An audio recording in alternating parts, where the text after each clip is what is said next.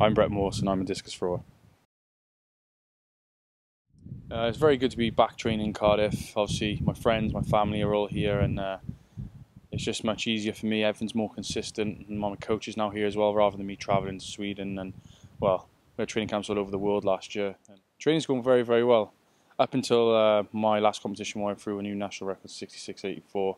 Training me going a lot better than uh, competition had, but I'm glad now to have a mark on the board that replicates my training, and hopefully now push on towards the world champs yeah, training's changed a lot in the last few years. Um, say two or three years ago, because I was still young, we weren't actually training as much. The volume wasn't that high. I was training like four days a week, weightlifting maybe only three days a week, just because my body wasn't quite ready for it. And every time we tried to increase the volume and increase the amount of training days, I kind of picked up little injuries and stuff. But in the last two years, that's one thing I did get out of last year. I was able to increase my volume a hell of a lot, and and that may be why this year has gone so well because I just have that volume in the system. For me personally, I'm not really one of these like big, strong guys. A lot of the guys I compete against are six foot eight and weigh 130, 140 kilos, and I'm six foot two and a half and 115 kilos. That's on a good day. So I'm more about speed. Like I've obviously over the time in the last few years, I've got a lot stronger than I was, but I'm still not as strong as some of the top guys. But I'm just a lot quicker than them, and that's my strengths. When I first started uh, getting to a better level, say, like in Commonwealths year in 2010 now, so there's a lot of media attention then being Welsh and stuff, so I really struggled with it then. It was kind of all new to me, and I kind of was given one word answers, and I was a bit nervous in camera, but now I really enjoy it. It's quite fun actually. Break up training a little bit and do this kind of thing is pretty enjoyable. I, like it.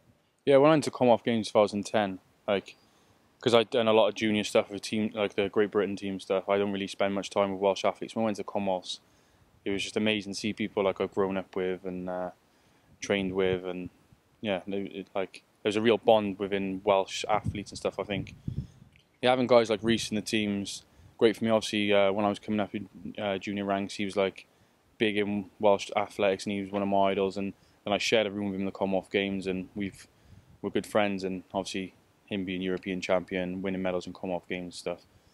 And then, but he's also like a great guy as well. He's not just big athlete, you know. He's a good guy, and uh, he helps myself and all the younger guys come through and compete for Great Britain.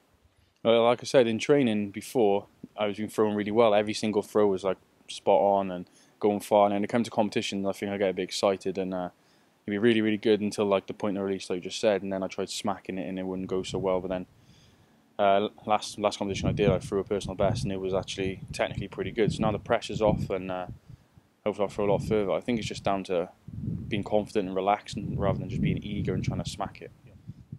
I just uh, seen guys like Aled Davies, very successful athlete, Rhys Williams stuff, make the move to concept, and it just made sense to me to follow these guys uh, to an agency that obviously uh, likes to work with su uh, successful athletes, and there's just a good atmosphere as well. And it's like everyone's friends rather than too business-like atmosphere. So yeah, yeah, I showed a lot of potential when I was young, and I was doing really well, and I made the world champs in 2011, the final there, even though I was just a young kid, kind of. So I did pretty well, and then obviously last year was a massive disappointment on that. So I'm just hoping to build again, hopefully make top eight in the world champs this year, and then hopefully medal uh, in the Commonwealths next year, and then on towards next Olympics, and hopefully I'll be in peak form, then peak shape, and I'll be in the chance of medal there as well.